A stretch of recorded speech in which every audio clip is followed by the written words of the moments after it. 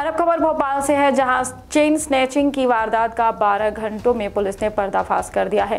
Crime branch ने दो लुटेरों को इस मामले में गिरफ़्तार कर लिया है। आपको बता दें कि कोहे फिजा थाना क्षेत्र में लुटेरों ने चेन स्नैचिंग की थी, जहाँ मंदिर दर्शन करने जा रही महिला की चेन लूट कर बदमाश फरार हो गए थे। लूट में इस्तेमाल की जाने वाली स्कूटी और सोने की चेन पुलिस ने बरामद कर लिया है।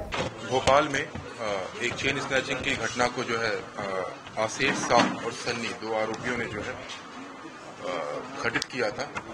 तत्परता से हमने जो है 12 घंटे के अंदर ही जो है, इस चेन लूट का जो है, खुलासा किया है।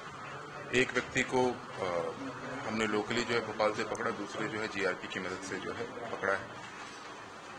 दोनों कोहे फिजा की घटना की लूट में लगभग जो है, लगभग एक लाख अस्सी हज़ार की जो सोने की चेन थी, उसको उन्होंने सुबह एक्टिवा से छपका था।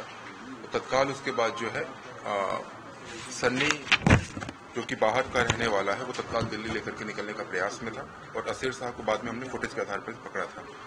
सन्नी के खिलाफ लगभग आठ अपराध हैं। सब एक कोहे फिजा में है और बाकी सब दिल्ली के एरिया में है। तीन सौ छब्बीस, तीन सौ तिरपन, तीन सौ दो तीन सौ तेईस, तीन सौ बिरानवे के अपराध पहले भी जो है इसके खिलाफ जो है हुए हैं, दर्ज। और अशेर शाह के खिलाफ पिछले साल कोही फिजा में पुलिस वाले के ऊपर तलवार से हमला करने का जो है आरोप था 307 और इस बार जो हमने तीन सौ बिरानवे जो है उसके ऊपर कायम करना सुनिश्चित करवाया है। इसमें पूरी टीम को जो है पुरस्कृत करने हेतु अधिकारियों द्वारा बताया गया।